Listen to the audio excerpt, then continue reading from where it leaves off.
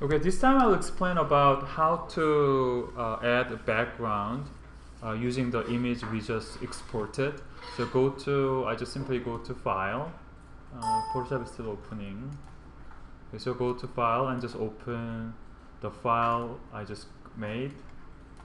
So probably that one is probably um, where is the file? Okay, I'll just select this one as or format as TIFF we then actually see exterior rendering. It's a 1.4 megabytes, so it's not so bad. Okay. Then you will see the, do you see that this is the, kind of check background, meaning that there's nothing, no images behind it.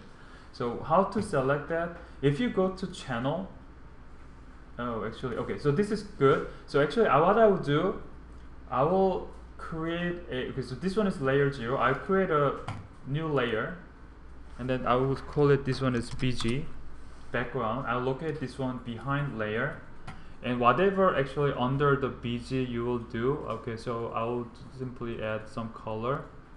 I just said okay let's say this one is some neighboring building behind it and then I uh, add some color some brown some black. You see that? This one does not interrupt your building the image in front of it so actually you can do, you can add any kind of sky image or building image behind it. Yes? Can you do that one more time?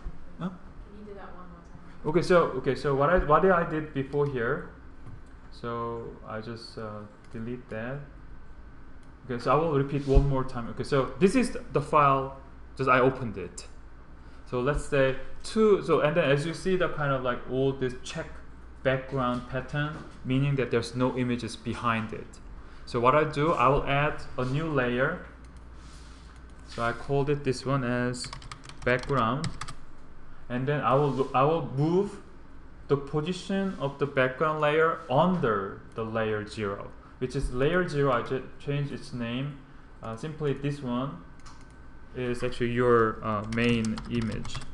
So let's assume that you need a kind of like uh, sky. I'll just google with sky and then go to uh, download image. Let's say we have this kind of image. I just download it. Uh, save image as uh, desktop. I just call this sky. And then actually you can just open file open uh, this sky change the file type or format. And where is sky? There it is. Oh, it. okay here's sky. I open it and then I just control A C and then I go back to here. And on the on the background layer I just paste it. So now you have uh, this kind of sky behind it. And actually no matter what you do this one does not in uh, kind of does not influence your main rendering images. Just stay behind it. So uh, already well-known technique Anthony? You put the sky on the background. a background yes. So you can do you can add anything behind it Okay, so this one is how to export